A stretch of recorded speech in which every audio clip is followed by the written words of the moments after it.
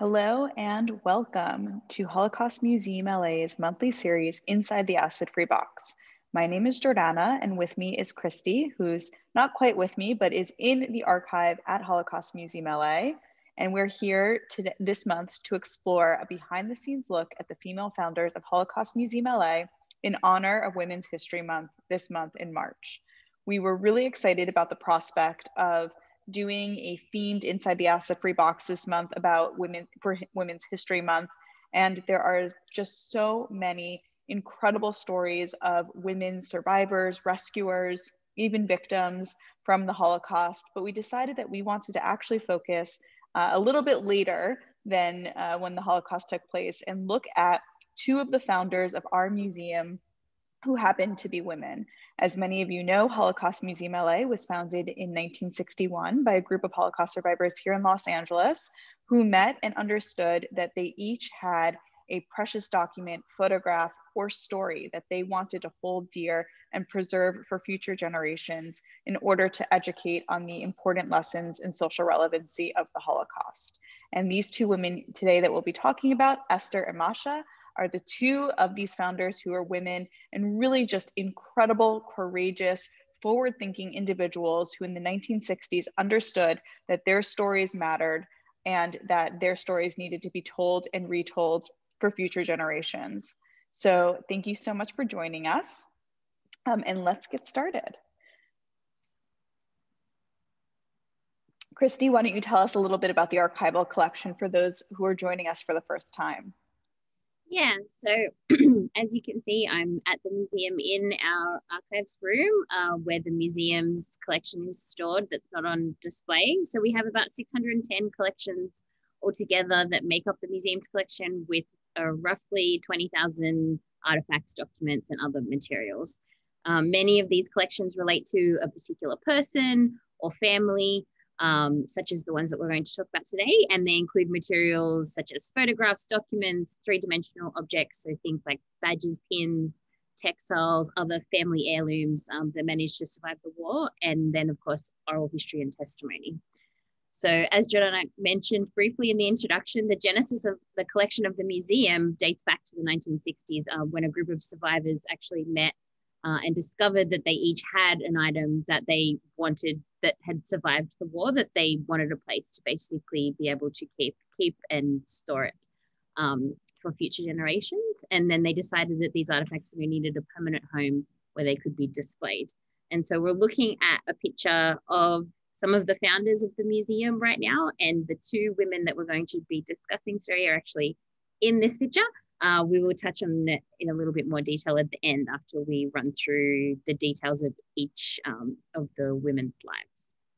It's just so incredible to think that the 20,000 documents we have today all started with this group of survivors. And they may have only had one document, maybe they had zero possessions from the Holocaust. Because really, when we think about Holocaust history and this traumatic event, people didn't just lose their families, but they lost their homes, their worldly possessions, many survivors, and actually Masha Loen, I think, is a really good example of this, survived the Holocaust to only have nothing. She had no artifacts, no photographs from her life before the Holocaust. She was unable to retrieve any of those. They'd all been destroyed.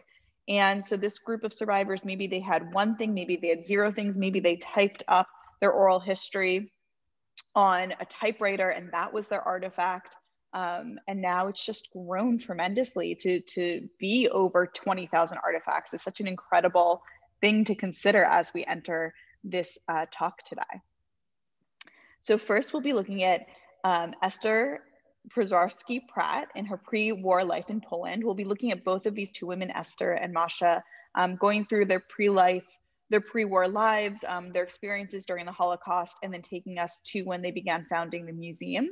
So, born in Częstochowa, Poland in 1913, Esther, was one of six children.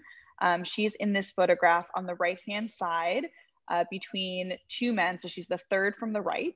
And this is her with her family. Um, her younger sister, who we'll hear a lot about tomorrow, is seated next, uh, is the youngest child seated in the fourth person from the left.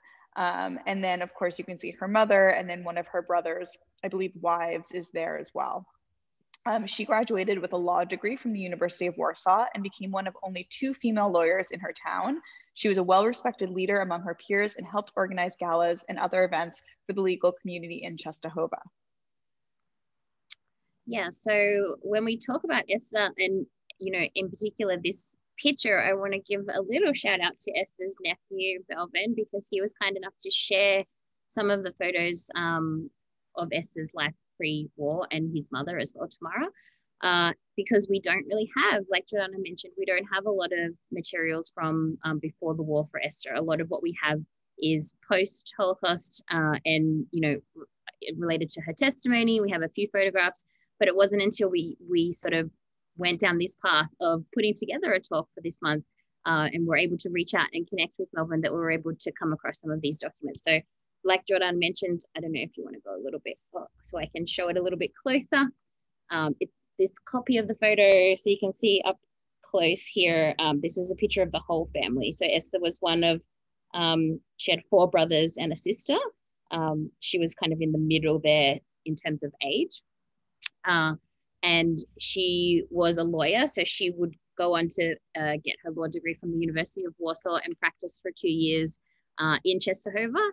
Uh, and she was basically, you know, at that time, that is no small feat, to be honest. I mean, it's probably no small feat to be able to become a lawyer at any time, really. Uh, but particularly at that time, um, you know, there were only 36 lawyers in total in Czestochowa, and Esther was, was one of only two lawyers. And at the time when she managed to pass her exams in 1937, out of 100 applicants, uh, there was only 16 that actually passed the exam, and only six of those were Jewish, and it was five men and her. So, you know, you can just see just from those numbers that it was no small feat to be able to, for her to achieve that. Uh, and to be able to set up her own practice and practice law as a woman um, in Czestochowa at that time is, is really remarkable. Uh, and so lawyers within the town and the surrounds belong to many different associations and clubs uh, and arranged parties and other social events um, that were attended um, by the community there. And so Esther was part of that. As Jordana mentioned, she was definitely a community leader and she was involved in um, arranging balls and other things that were attended by the legal community there. So we also have this photo as well, courtesy of Melbourne which is actually a picture of one of the last galas or one of the last balls that was held in Czestochowa before um, the war broke out. So you can see Esther is just here and sitting in the front row right here. And really from these photographs, you can see, and they really capture what daily life was like in Poland for the Jewish community.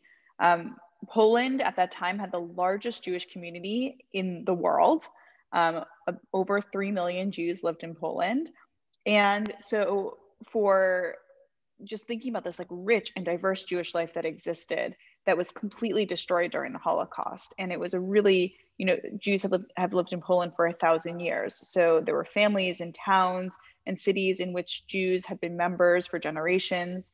Um, you know, people either worked as professionals like Esther as an attorney and even though it was unique for a, a, a, woman to be an attorney, it was not unique at that time for Jews to be attorneys. Um, they were also farmers. There were rich Jews, there were poor Jews, there were Jews that lived in cities, there were Jews that lived in towns and shtetls. Uh, Warsaw, which we mentioned, which was the capital of Poland and which was where Esther went to university, the population of Warsaw, 30% of the population was Jewish. So that's a significant population um, of Jews living in Poland and who were really active and engaged in the economy and in society. And we actually have a map here. Um, so you can see, you know, Poland's largest Jewish communities on the eve of war. So this map depicts those cities in interwar Poland, so between World War One and World War Two, with a Jewish population of over 12,000. So quite a number of cities here have a Jewish population of over 12,000, and it also includes the Jewish percentage of the total population of the city. And so Czestochowa is here. Um, it's a little small, so let me see if I can grab it. Here's Czestochowa. So um, about 20, over 28,000 Jews lived in Czestochowa, and that was 30% of that um, population of the city. And it's just remarkable to think, like here's Czestochowa, this, this sizable small city within Poland, um, and 28,000 Jews, 30% of the population. And then, of course, here's Warsaw, where you can see, um, you know, 350,000 Jews, 29% of the population. So it's just interesting to kind of ground us in where we're talking about what the format is. And this is where Esther was living on the eve of the Holocaust. So what I remember, excuse me. Um, so now we're going to talk a little bit about Masha Loen. She was from Lithuania. She was born in 1930 in Kovno, Lithuania. Masha was one of three daughters. The family was observant, and Masha recalls fond memories of holidays and other celebrations from her childhood. The rich Jewish cultural life of Kovno was disrupted when the Soviet Union occupied Lithuania of June of 1940, which we'll talk about in one second. Um, and Masha's family had their belongings taken away, and her father uh, lost his job, his, his tailoring business. He was a tailor. Masha and her family initially tried to escape, but they ended up returning home after they witnessed a horrific pogrom committed against Jews by the Lithuanians. And here we're going to listen to a, a short clip of Masha talking about her childhood in pre-war Lithuania. Passover was a very long table, and everybody came. And then there was a big, tall silver on the end of the table silver cup that was filled with wine. And by the end of the Passover, when they left in when they left in Eliyahu Hanavi, they opened all the windows and doors, and I could have sworn to you at that time, when till it ended, that he was there and he was drinking. And as I got older, I knew that it was the flow of the air from one window to the others, or maybe it was there, I don't know. But for me, Eliyahu Hanavi was always there. Passover. Eliyahu Hanavi, yes. And they baked, and at my grandfather's and my grandmother's house, we had a, a, a woman from Poland, Aluna, that spoke better Yiddish than we did. And she was with the family for 25 years. She helped us a lot during. She was Jewish? No, she was Christian. And then we had a Jewish help. So what happened is before Passover also was a terrific time is when they they went and picked up the matzahs and when they made the wine and they made the fav and they make they baked those beautiful sponge cakes. And it was such an activity that you have no idea. Absolutely magnificent activity. A mad they made. They call it a champagne. It was made out of hops. And sometimes after Passover, we were lying in bed, and in the cellar it would go pop. They corked it themselves. They corked the wine. They corked everything. Everything was made for Passover, was made in my grandmother's kitchen. I loved that story. And when Christie and I were talking about um, clips of Masha's interview from the Shoah Foundation, it reminded me, first of all, because we're currently celebrating the holiday of Passover. And when I was also a little kid, I remember it's, I think, a very traditional Ashkenazi tradition to put out a cup for Eliyahu Hanavi and um, Elijah. And so when she was talking about watching the cup, I remember myself as a kid watching the cup. We would open the door and invite him in. And, you know, as a kid, I would be convinced that he was drinking from the cup. And of course, as an adult, I understand that the wind was probably blowing in from a window or a door. And it's the exact same story that Masha was saying. And it's so important for us when we're telling these stories to think about not only Jewish life that existed before the Holocaust, but really consider the ways in which traditions and customs in any culture continue despite a mass atrocity like a genocide. And that there's still just a few nights ago, Jews across the globe opening their doors and welcoming Eliyahu Hanavi to share in a glass of wine at their Seder um, table. So it's just exactly as Masha is describing it from before the war. Um, and then here we have um, a map that kind of explains now the outbreak of World War II. So the Soviets and the Germans, um, despite you know Nazis being very adamantly against communism in their propaganda, uh, the Soviet Union and Nazi Germany signed a non-aggression pact, and they both invaded Poland um, in 1939. And this map identifies the new border that was agreed upon between the Soviet Union and Germany per the non-aggression pact. And of course, you know, this impacts both Esther, who is now 1939 under Nazi control, um, and impacts Masha, who is now under Soviet control um, for the time being. And really, there's a number of different, you know, going to Esther's story in Poland, Czestochowa, the town in which she lived, or the small city in which she lived, was invaded by the Nazis that September 1939, and it was incredibly bloody. Um, the Nazis actually murdered several Jews that day, or in those days leading into the um, in, in, the invasion. Um, and just their target was to get rid of the intelligentsia, people who were looked up to in the community. So I can imagine Esther being a community member, pretty active, was probably quite terrified during that time um, of the invasion. And for Masha, you know, being under the Soviets, her father lost his business and they lost a lot of their belongings. So life also changed dramatically for her as well. Um, so now looking at Esther, Nazi invasion, the ghetto, and deportation. So as I said, following the Nazi invasion of Poland in 1939, Esther and her family were forced into the Czestochowa ghetto. Uh, the Nazis performed a mass roundup in September of 1942, where many were deported to Treblinka death camp. Esther and her remaining family were forced into a smaller ghetto in Czestochowa, as the Nazis were actually what they called liquidating the ghetto, which meant deporting Jews from the ghettos into or to the death camps. And really, this process of ghettoization was because I mentioned earlier how Poland had this huge Jewish community and the Nazis wanted to better control them. So, forcing Jewish communities into ghettos, um, into areas where there were horrific living conditions. You can actually see a map of the Czestochowa ghetto here. And um, Jews were not allowed to leave. They were given very little food, almost no medical attention. Um, and this was really a way to control, but also weaken um, and, and slowly murder um, the Jewish community as under the Nazis. Um, so Esther was appointed as part of the Judenrat of, of, the ghetto and was put in charge of the apartment repairs. And her older brother Jacob was a member of the Jewish police. And just a little information about the Judenrat. This was, um, you know, they're called Jewish councils, Judenrat in German. Um, and they were established by the Nazis in ghettos to again control, to best control um, the Jewish community living in the ghetto, but so that the Nazis could control from afar. Um, the Judenrat in Czestochowa was established um, on the basis of an order from Nazi authorities that actually occurred in all ghettos and cities across Poland. Um, it was actually not an individualized order. It was really actually a systematic order that came from the top of the Nazi government.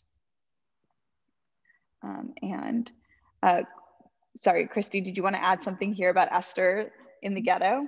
Yeah, I mean, we like I mentioned before, we don't have a lot of documentation or photos or anything about Esther from that time, but we do have a substantial amount of testimony within her collection. So she um, was very diligent about documenting her story after the Holocaust, and so and as we'll talk about later, she was also prolific in speaking about her experiences at various events to various students and like educating the public as well as giving speeches. So we know a lot about her life at this time from those materials. So she talks a bit about the fact that, um, you know, the first liquidation of the ghetto that occurred, um, she was there for that. And, you know, approximately 40,000 Jews were deported to Treblinka at that time. And she later discovered her parents were actually killed at Treblinka. Um, and so after that, those who remained were essentially forced into a, a small ghetto, a smaller version of the ghetto. Uh, and that was when Esther became part of the Judenrat and was put in charge of apartment repairs for the ghetto. Um, and, you know, she was really part of, I guess, the intelligentsia within Czestochowa. And so, you know, as a well respected member of the community, um, you know, that's how that kind of appointment resulted. And so she ultimately resigns this position. And she talks about this in her testimony as well because of uh, clashes with the head of the Judenrat, um, because she felt that he was giving essentially preferential treatment to certain more affluent, affluent families that were living within the ghetto at the expense of those that were less fortunate. Uh, and so she, it ended up actually being fortuitous timing for her because not too long after she relinquished that position, um, the ghetto, the uh, the guards in charge of the ghetto actually rounded up the intelligentsia uh, and the members of, of the Judenrat with their and their families were essentially instructed to assemble at the gates of the ghetto, and they were told that they were going to be taken to um, New Palestine under a pass with the Red Cross. Uh, and then essentially what happened was the prisoners were marched out and taken to the cemetery nearby and shot and put into mass graves. And so, um, you know, Esther was there to essentially witness that and was saved essentially because she had relinquished her position not too long before that and so wasn't um, called up as part of the Judenrat and intelligentsia that were killed at that time. Yeah, and as we mentioned, her brother was part of the Jewish police, and the Jewish police in Czestochowa were established sort of, you know, to be to kind of guard the streets and sort of police the streets of the ghetto, um, maintain some sort of law and order that was established by the Judenrat, so really established by the Nazis, um, making sure people kept curfew, uh, just sort of in, inputting and imposing all of the different laws and restrictions that the Nazis forced the Judenrat to impose. And I think from what Christie just shared, there are a few very important takeaways. And one is that the Nazis specifically targeted Jews to be part of the Judenrat who were already leaders in the community, who they felt that other Jews might look up to. So maybe it's rabbis, cultural um, rep- members, political members, um, also, you know, lawyers, perhaps people who were revered within the community. But the Judenrat did not represent the political movement of the Jewish population. They were really forced and not given quite a choice. Um, and oftentimes, being a member of the Judenrat did not save Jews' lives. And as Christie mentioned, they were ultimately also murdered by the Nazis. The Nazis were mainly just using them so that they control they could control the ghettos um, from afar and didn't need to do the the dirty work um, within the ghetto. Yeah, and I think it's interesting to note too, as you mentioned, Jordana, that her brother was part of the Jewish police that policed the ghetto, um, particularly because, you know, and we've talked about this before, that it such positions were really controversial because they did afford some level of protection for the individual and maybe their families and maybe even avoid being deported for a time. But the job often meant that you were seen by your peers and your community as a Nazi collaborator and, you know, despised really. Uh, and so, and then, you know, you're faced with these impossible decisions of do I comply with Nazi orders knowing that this is likely spelling the deportation and death of people who are my neighbors and fellow community?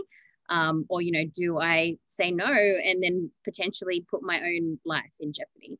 Um, and so, you know, this is, we, we don't know too much about the story of um, Esther's brother, but we do not know that he was part of the Jewish police. And so this is potentially something that he faced on a regular basis. And, you know, something that we will touch on a little bit later um, is that we know that he was he was ultimately recorded as being killed in 1943. And Esther actually references in her testimony that he was shot at the cemetery along with his wife and two children. Um, but, you know, it's possible that his experiences were the catalyst for Esther acting as a defense attorney for other Jews who were facing the accusation of being collaborators in um, trials that happened after the war. Yeah, I think Esther really saw firsthand the true horrors of the Holocaust and the impossible decisions that people had to make to try to save their lives. And oftentimes they did, they were unable to survive because two out of every three Jews in Europe were murdered during the Holocaust. Um, so Operation Barbarossa. So we mentioned how the Nazis invaded Western Poland in September of 1939. Um, actually, in June of 1941, the Nazis now invade their ally, the Soviet Union.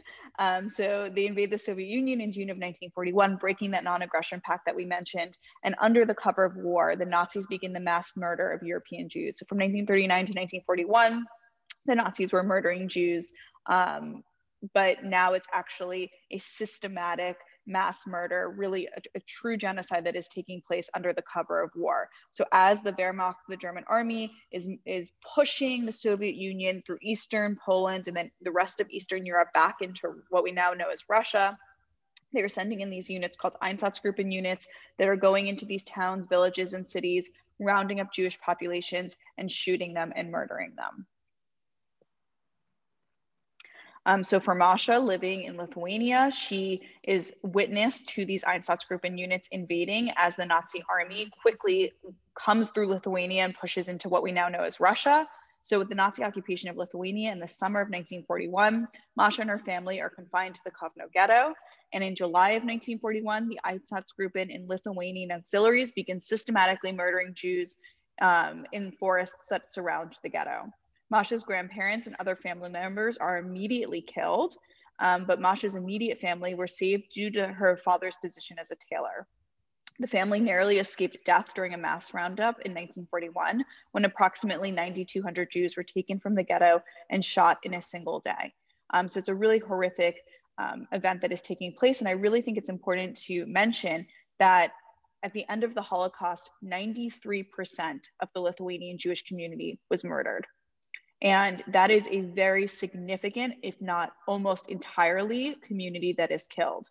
Jews lived in Lithuania for a very long time. There was a beautiful and rich culture there. Um, the, the capital of Lithuania was known as the Jerusalem of the West, and it was a vibrant Jewish community. And really understanding that 93% of the Jewish community of Lithuania was murdered, how could it be so complete? And unfortunately, part of that is because of the collaboration of Lithu- local Lithuanian non Jews who collaborated oftentimes eagerly with the Nazis and with members of the Einsatzgruppen to not only point out where Jews lived or point out family or families who might be hiding Jews, but to then even go as far as to engage in the mass murder themselves.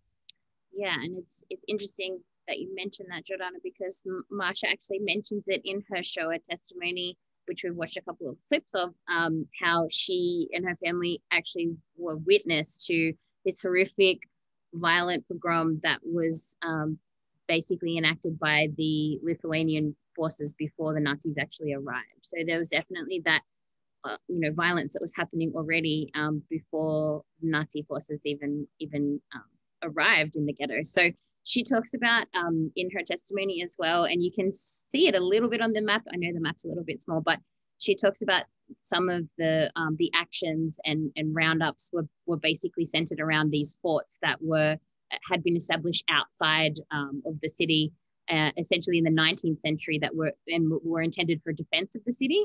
And so Nazi and Lithuanian police uh, basically rounded up Jews from the ghetto and took them out to these forts to be shot. And so Masha's um, grandfather and grandmother were killed in an initial action early on that in this way. Um, and the rest of the family actually narrowly escaped death during a later action um, that Masha talks about in her testimony, because her father, who had been a tailor, you know, considered to be a useful occupation, uh, had um, tailored a suit for a, a, particular guard, and this guard was actually the um, area where the action was happening and where the Jews had been rounded up, and recognized her father and took him out of line and said, "Take your family and go back to the ghetto." essentially saving his life.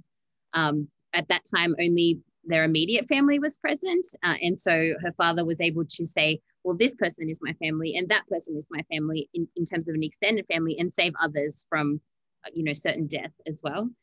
Um, and then, you know, Masha also talks about a later um, action with the Nazis rounding up children in the ghetto. And at that time, she was out on a work detail uh, outside of the ghetto and her father was out from their apartment at work as well. And when she came back and discovered what had happened, you know, she had two younger sisters, one of which who had only just recently been born, actually, in, since the ghetto had been established. Um, and she was just convinced she knew that they were at home with her mother, and she was convinced that they would have been killed or taken. And so, it particularly came back, she came back with her father to their apartment and discovered that it was empty.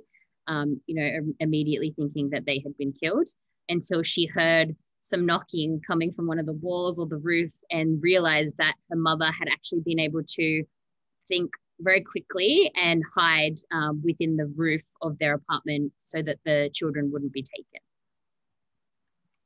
And uh, thinking about this, the Jewish community that lived there, I mean, Jews had lived in Kovno as early as 1410. So, really, a rich Jewish community in Lithuania.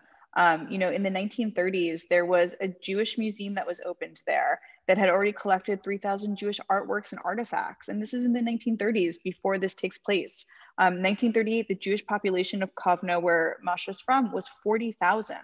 Um, so this is a really beautiful community, a rich community um, that is completely destroyed in a brutal, horrific way. And Masha is witness to all of this.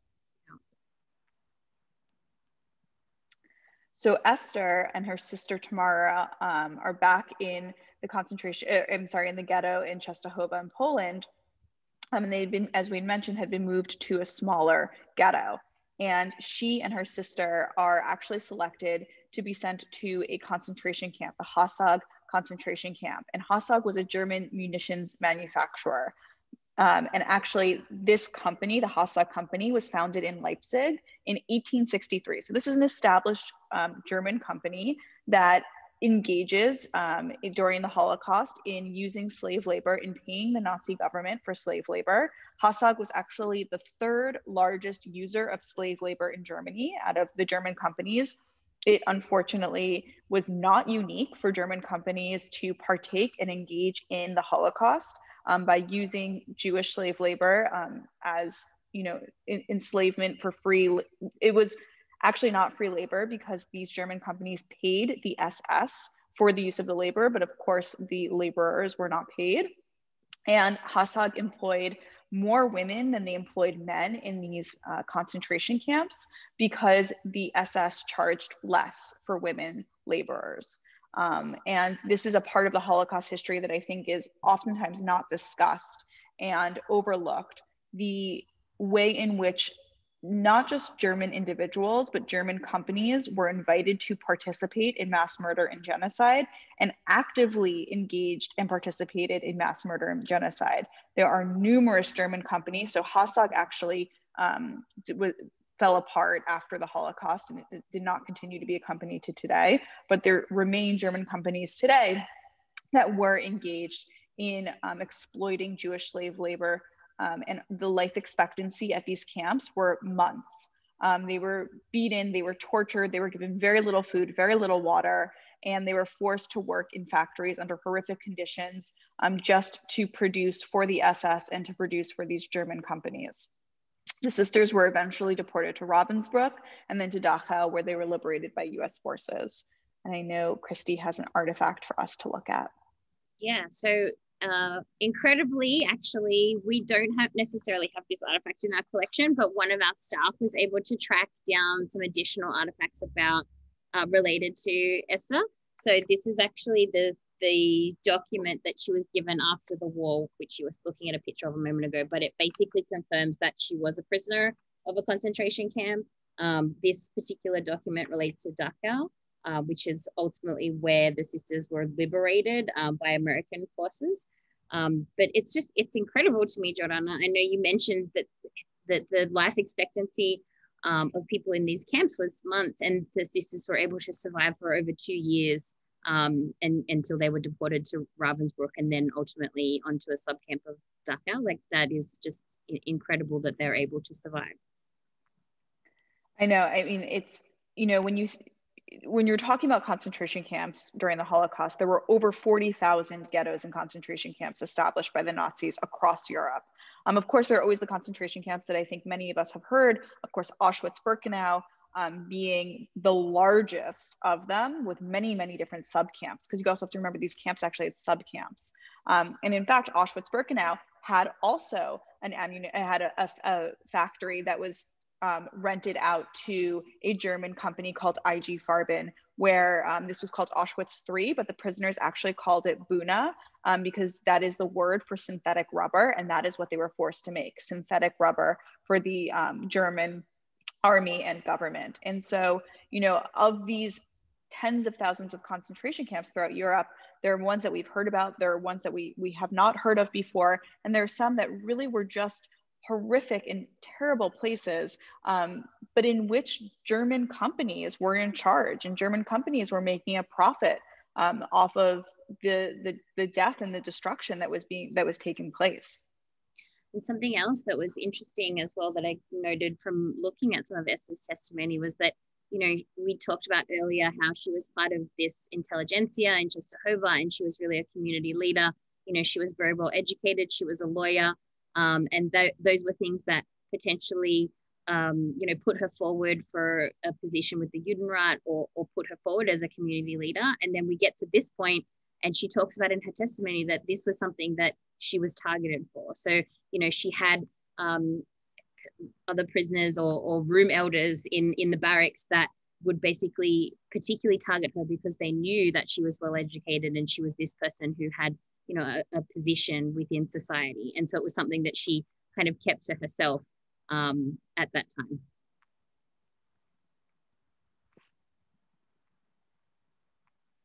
um, and so as we mentioned um, esther and her sister are deported to Ravensbrück and they arrive due to the, um, so of course now we're, we're fast forwarding in our timeline. It's now, you know, the end of 1944. Um, the US has already entered the war and the Soviets are, and also have already landed in Normandy. The Nazis are facing a two front war and the Soviets have really pushed the Germans back. Um, and so the Nazis begin evacuating concentration camps in Eastern Europe. Um, and so Esther and her sister are sent on a death march and they arrive in Ravensbrück in January of 1945. And here you can see this is typed up um, notes that Esther wrote following the war. Um, just to, she documented and typed up her his, her testimony many times in letters that she would send to people, in interviews that she would give. Um, you know, she was very very dedicated to writing down her testimony. And so here she you can read. She says, "We were told to undress." We were subjected to a thorough and brutal body search for hidden gold and diamonds. I was given a torn skirt, a threadbare coat, a man's shirt, a pair of wooden sandals, but no underwear, no stockings. Esther and her sister were forced to work shoveling sand and pulling heavy carts to and from the disinfection chamber or loaded with lumber for the crematorium. Their meals consisted of rotten turnips and black bread. In February of 1945, Esther and Tamara were deported by cattle cars with hundreds of other women to Kaufering, a subcamp of Dachau. The trip lasted 16 days with little food or water. Many women died along the way, with Esther recalling that in our car alone, 10 young women died. They first became insane, then fell into a coma and went out like candles. I myself was twice on the verge of death, but was each time saved by a Hungarian woman who placed a pinch of salt on my tongue.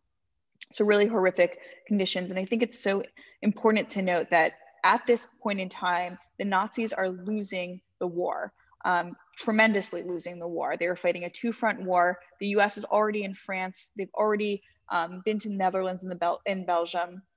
The Russians are coming through Poland, they've already been through Lithuania and Ukraine, and the Nazis are clearly and obviously losing the war. And instead of dedicating all of their resources to fighting that war, they're dedicating resources in the mass murder of Jews, um, as we can see in this testimony.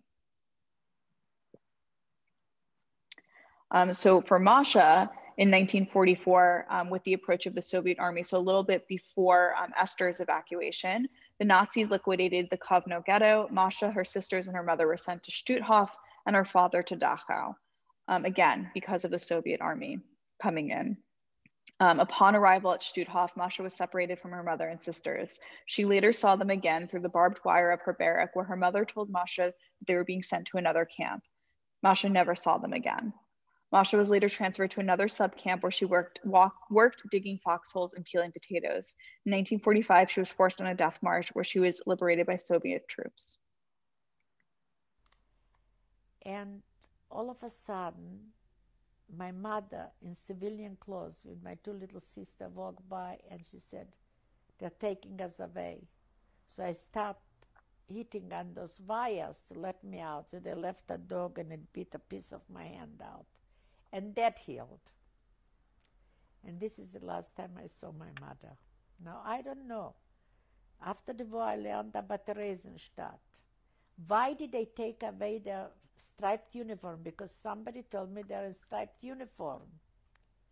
The little one, even. A big one, cut off, in striped uniform.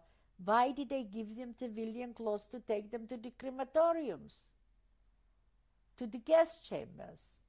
But at that time, I couldn't figure it out. I only figured it out after the war, after I learned what happened. So, for me, still, my mother, and my two little sister died in Stutthof because there they took them away from me.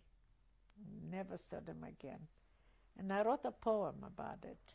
I don't remember all of it, I don't have it in front of me. I was a little girl, lost and sad. My mother told me I was not bad. Then why the agony and pain the Nazis inflicted on me with whipping cane? The answer was unanswered because mother was no more. They took her away to settle the score. I can't go on anymore for a little while.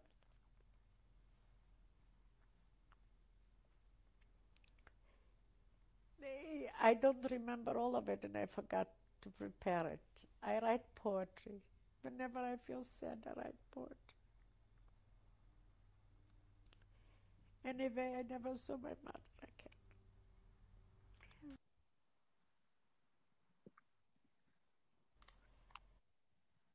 So we we she was talking about obviously in that clip about the last time that she saw her mother um, and she really didn't understand what was happening. They were in, they had been in, they had been given uniforms in the camp, and then they had been changed into civilian clothing, which she didn't really understand.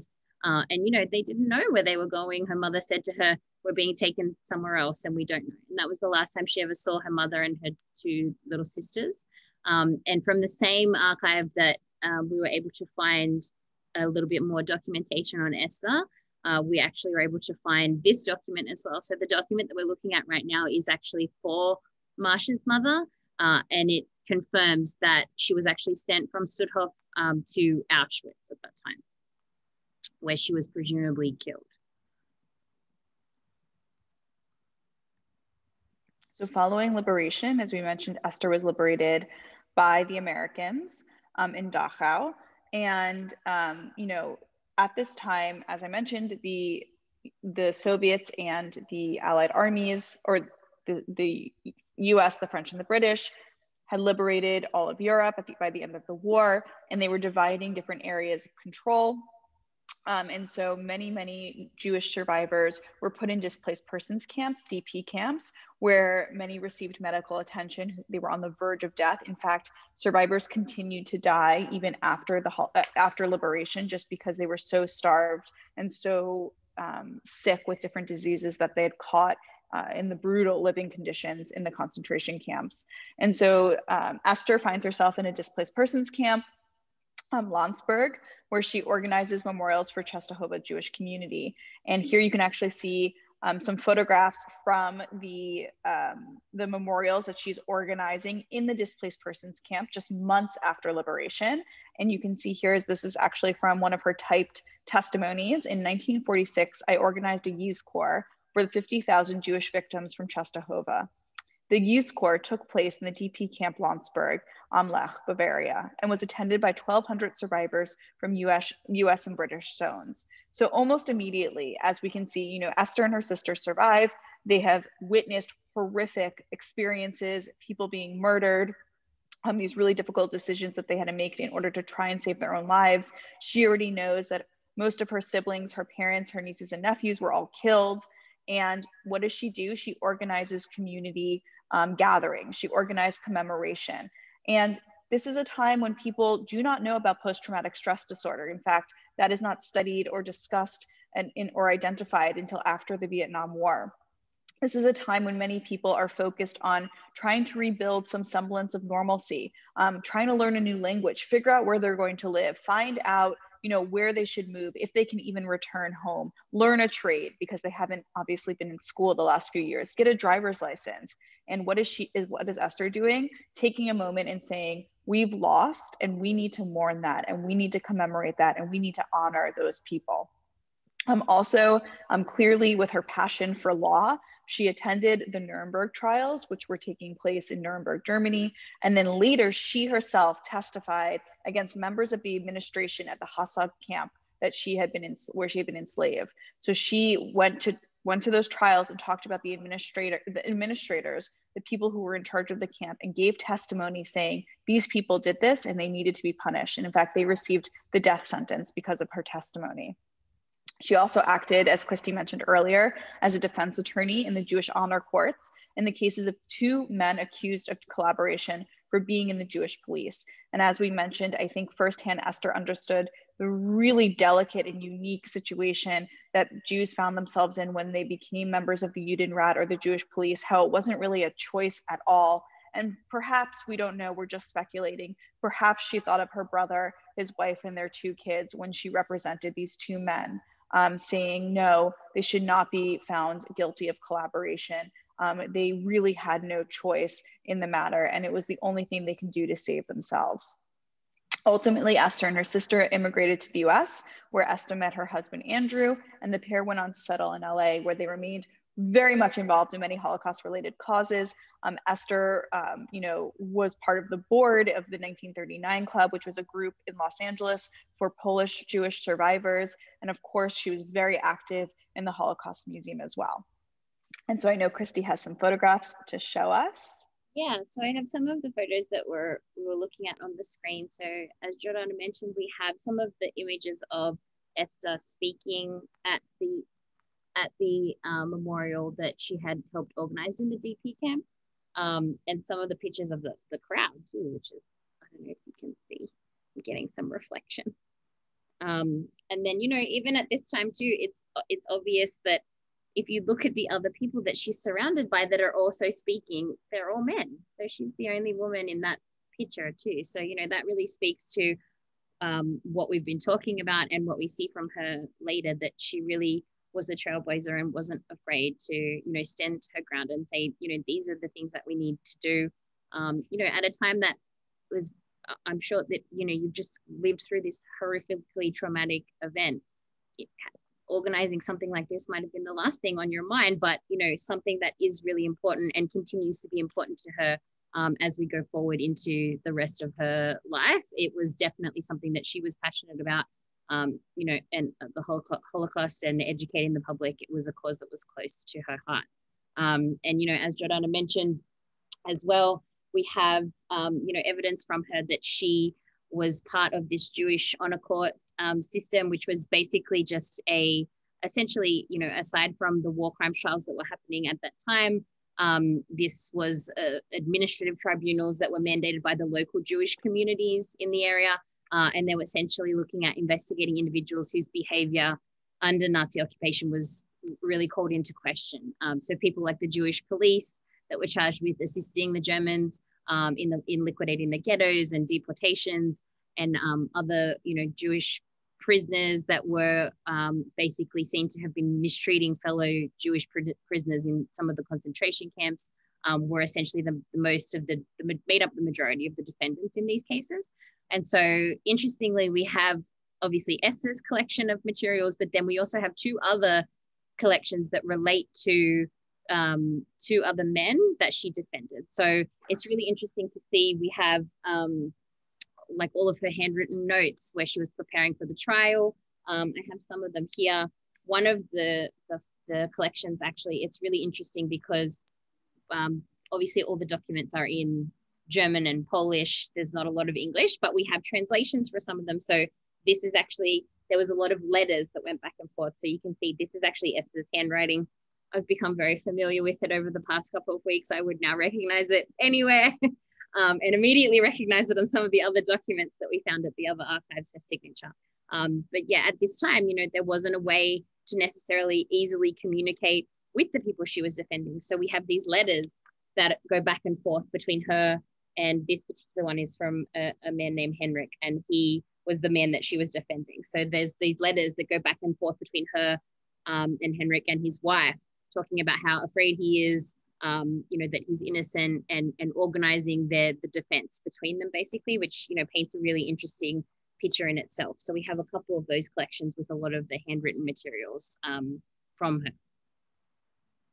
And really, when you think about the Holocaust, it's a process of dehumanization. And so it's not just about survival, but it's about surviving with human dignity and maintaining just their own identity. That is a form of resistance, really. And so for Esther to not only survive, but to be who she was and always was an attorney, a community leader, um, a woman with opinions, which I'm sure was unique at that time, a woman not afraid to share her opinions and speak up and speak out.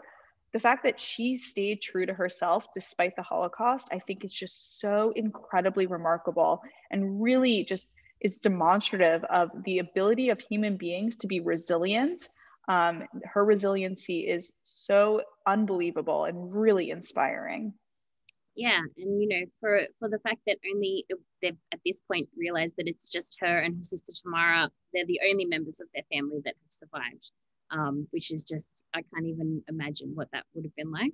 Um, to be able to you know pick yourself up and say, okay, well, I'm going to help others and organize memorials and do all of this amazing work right after this horrific tragedy that's happened, and then also you know the same as a lot of other survivors to be able to pick yourself up when you have nothing and say i'm going to move to a completely foreign country with a completely foreign language without knowing anyone. Um, so when they the, the, sisters immigrated to the us to be able to do that is just incredible to me.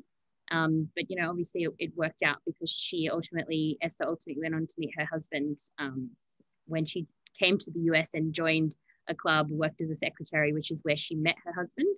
Um, and you know, and then they resettled in in LA, um, and then got involved in all of these these causes, which really just you know is a continuation of what we've been hearing about.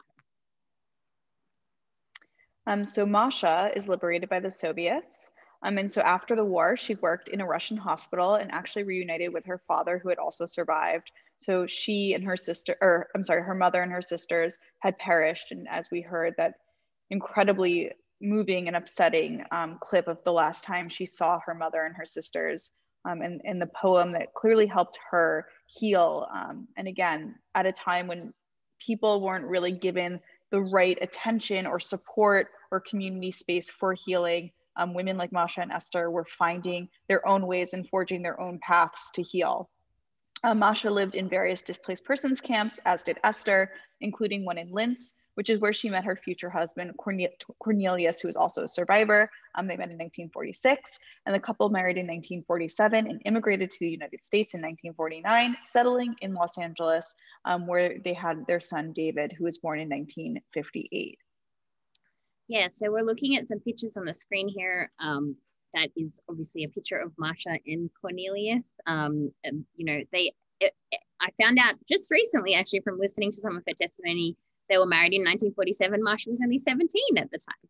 Um, and they met in that DP camp. So ultimately, Masha is reunited with her father, but she and they can like they travel across Europe, um, you know, searching for a family and what have you. And ultimately, she decides to stay in Austria um, and goes to a DP camp, which is where she meets Cornelius. Um, and you know they were married for the the entirety of the rest of their lives. Um, came to the US and settled in LA uh, and had a son. And uh, again, ultimately, you know, similar to what we were talking about with Esther, you know, really passionate about remembering this history so that it won't be forgotten. Uh, and so are active in causes such as the founding of our um, museum.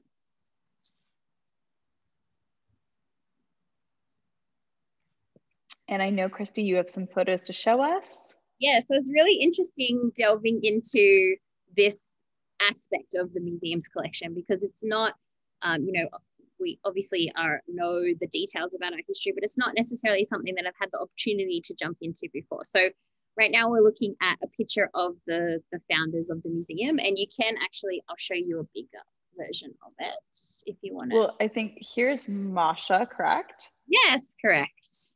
And over here is Esther. Correct.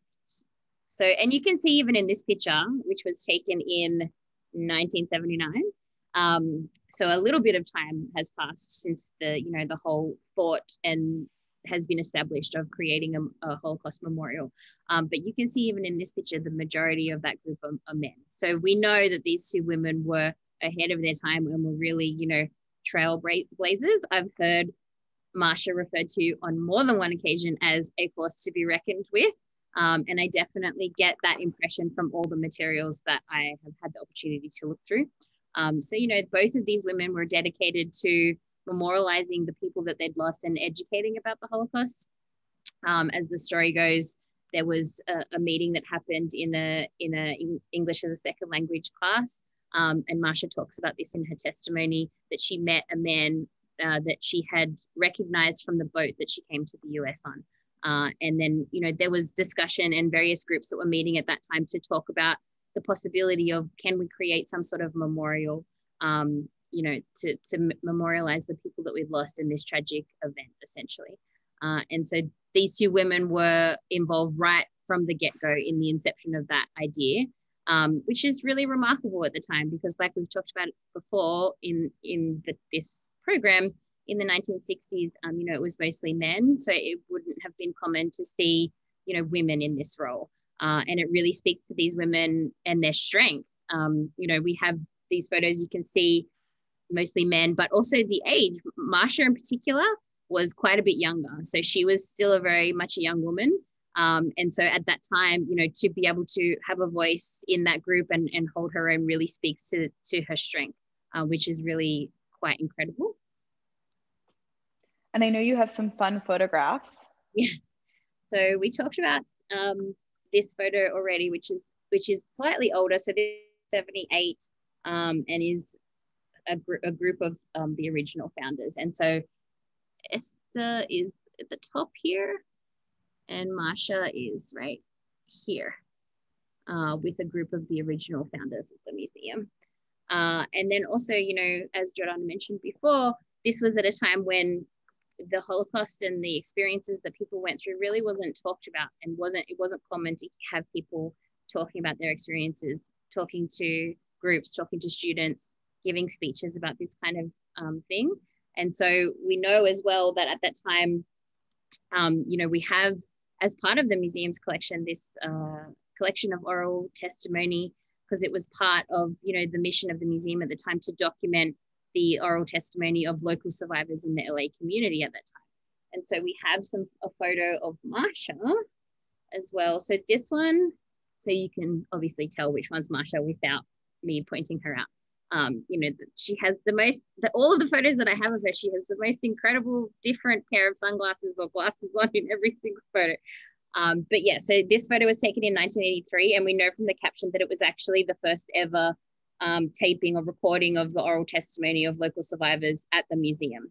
So we're talking about in the 80s when again this wasn't a common topic to talk about, and even you know the the the large scale project that the Shoah Foundation undertook in in documenting all of this really important history really started in the 90s. So this was something that you know was part of the museum's mission from the get-go and and is part of our the core of our mission today and something that Masha was very much involved in. Yeah, I mean, so today, of course, there might be a Holocaust movie coming out almost every year. Um, but I really want us to try to imagine a world in which people are not talking about the Holocaust. People, as I said, understanding PTSD, post traumatic stress disorder, does not take place until after Vietnam. Um, so this is already decades after the Holocaust is over. So for these two women, really early on, when no one is speaking about it, to say, we need to talk about this, we need to document this, we need to commemorate this. Um, in the US, the first time the public really engages in dialogue uh, around the Holocaust is in the 1970s, when there was this mini, dot, mini short film. Um, it, was, a series with um, Meryl Streep called The Holocaust. Um, and so that's like the first time really where people are introduced to the Holocaust as it took place. Um, and then it's again very quiet. Nobody's really talking about it until Schindler's List in the 1990s. Um, so these women are founding a museum in the 1960s, even before this mini series comes out. And then in the 1980s, saying we need to document oral history. Um, Schindler's List by um, you know Steven Spielberg really was this moment in which survivors began to feel comfortable um, sharing their stories, but also communities felt comfortable wanting to hear them. Because if Steven Spielberg, this Oscar winning director, could tell the story, um, so then they felt that, you know, they wanted to hear it. And this is when the Shoah Foundation starts after Schindler's List. So not even till the mid to late 90s. And here Christie is showing us that Masha Loen in the early 80s was saying, I'm going to interview Holocaust survivors and document it. It's just so incredibly remarkable um, that these two women were so very much engaged. And I know that when Christie was going through our archival collection related to Masha, we found thank you letters from students in the early 1980s um, writing to Masha, you know, thank you so much for sharing your story, for telling us about your mother and sister. So it's that's May 24th, 1982, um, a letter from a teacher, um, you know, where she's writing that the students said that, you know, that she must be a strong woman to stand there and tell strangers about the horrible things that happened to her and her family. Um, you know, many students were amazed that even such a museum exists. 1982, the United States Holocaust Memorial Museum in DC was not opened and founded until the 1990s. So just so unbelievable that these two women understood this. And I know that we can go on and on talking about the incredibleness of these two individuals. Um, I now open it up for a little questions. If anyone has a question or two, you can drop it in the Q&A box. Um, if you have a question about the history or these two women themselves, um, please share. And it, you know, the work that the Holocaust Museum LA does today is because of these two individuals and is in honor of them as we continue commemorating, documenting, and educating as these women envisioned the museum would. So it's just thank you so much for joining us this evening and sharing in um, learning about these two remarkable um, faces behind the museum. I know this was a lot of information that was covered. And I, I, will say, you know, Christie, I'll ask you a question as we, as we see if anyone has, our audience members have any questions. But, um, you know, what was your favorite artifact that you uncovered preparing for this? Oh, goodness me. Well, I mean, yeah, that's a tough one. I, um, I, I definitely, it definitely struck me that the testimony from Esther was incredible because to, to be so frank and so open about her experiences and so detailed um, I really didn't expect that when I opened the the um, the collection. I, I was thinking maybe this is going to be hard to have the appropriate information to put this talk together, but you know there was just this incredible wealth of of testimony from her, which I wasn't expecting. Um, and actually, we didn't get to it, but um, something that I just recently discovered um, and again, this speaks to her as you know somebody who was just really a, a, a trailblazer and, and and definitely had a, a strong voice and a passion um, about this history. Uh, was that she continued to, you know, she testified in these trials against Nazi administrators and other people that were administrators in um, the camps that she was in.